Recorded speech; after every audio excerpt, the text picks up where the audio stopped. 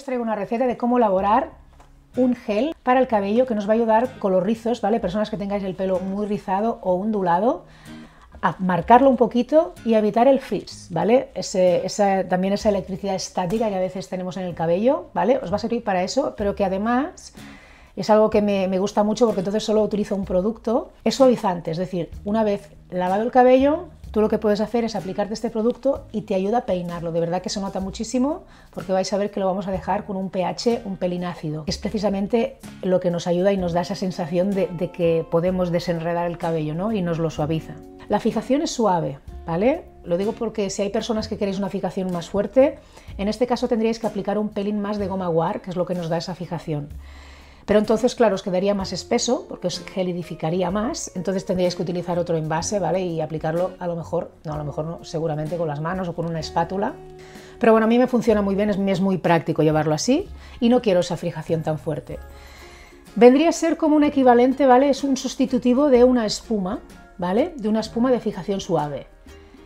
Interesante, pues claro que no nos lleva alcohol, porque las espumas yo las había utilizado a veces y al principio, el primer día cuando te las aplicas, pues el pelo te queda bien, pero al día siguiente, dime tú cómo te levantas. Bueno, yo al menos me levantaba con el pelo apelmazado, todo hacia arriba, seco, o sea, y esto es porque lleva alcohol. Con esto no os va a suceder, ¿vale? Además lleva un poco de, de aceite vegetal, que es interesante, yo le pongo de aguacate, pero podríais utilizar cualquier otro aceite que tengáis vegetal que nos puede servir para el cabello. En mi página web tenéis un archivo descargable con activos para el cabello, porque también le vamos a poner inulina, que es, una, es un producto hidrosoluble, pero podréis sustituir por otro tipo de activo que tengáis, ¿vale? Hidrosoluble que os sirva para el cabello, pero para vuestro tipo de cabello, es decir, lo podéis personalizar.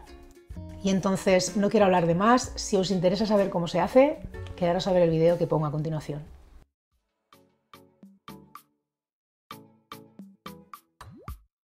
Bueno, pues no sé si os lo he comentado al principio, pero esta es una receta como de aprovechamiento, es decir, hice un producto con gel de lino y no quise tirar las semillas, por lo tanto las estoy reutilizando.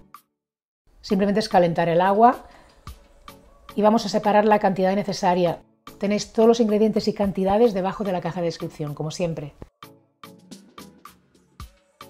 Como conservantes voy a utilizar el sorbato de potasio, el benzoate de sodio, los voy a ir pesando e incorporando, mezclando bien para que se disuelvan bien en, el agua del lino.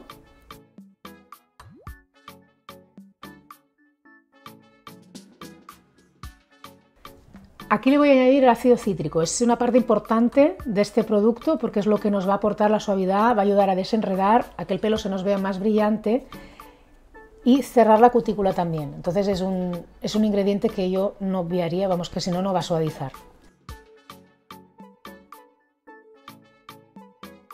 Lo incorporamos bien.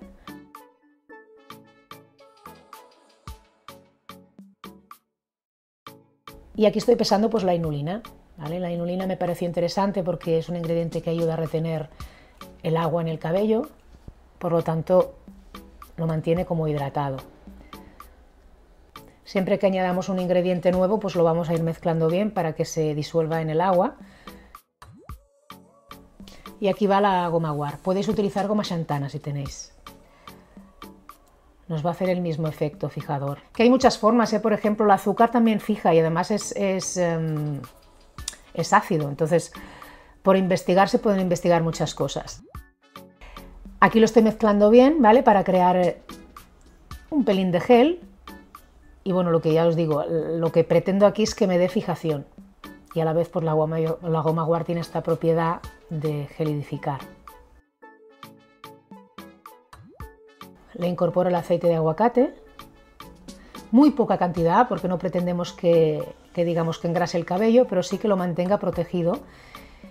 Y la goma guar es lo que nos va a ayudar a que este aceite se quede disperso en este producto, ¿vale? Entonces cuando nos apliquemos el gel, parte de este aceite se nos va a quedar en el cabello. Por lo tanto, yo os recomendaría no aplicarlo hasta las raíces, sino mantener las raíces libre del producto. Y por último, pues le agrego el aceite esencial. Estoy utilizando cítricos en este caso. El aceite de Ilan Ilan va muy bien, ya lo sabéis. Hay personas que me decís que habéis descubierto este aceite a través del canal, ¿no? con productos capilares que elaboro. Y ya simplemente nos queda envasar.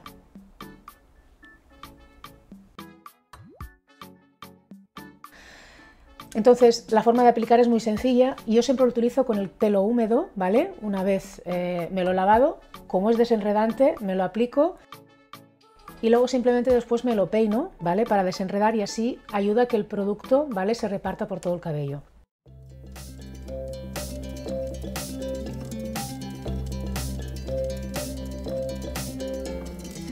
Y bueno, espero que os haya servido, gustado esta receta, regaladme un like es así. Si queréis aprender mucho más de cosmética natural, tenéis a vuestra disposición en mi página web un libro manual, tanto en PDF como en físico, ¿vale? Donde podéis aprender a formular y a personalizar vuestras propias recetas. Además, que no lo digo nunca, al principio del libro hay un poquito de, explicación, ¿vale? De cómo identificar vuestro tipo de piel y cómo tratarla a lo largo del día, a lo largo del tiempo, para entendernos, con productos naturales que os podéis ir elaborando con el libro, incluso recetas más express, que yo las llamo, ¿vale? Que son muy interesantes y muy efectivas. Y, más naturales si cabe en el sentido de que no utilizamos productos tan de compra, ¿no? como un emulsionante que podemos comprar, sino que están hechas con, ingredientes que podemos tener por casa y creo que también es algo interesante. Entonces os dejo debajo en la caja de información el enlace o por aquí, mi página web, donde lo podéis encontrar. Espero que estéis todos y todas muy bien y nos vemos en próximos videos aquí en el canal de la Química. Un beso.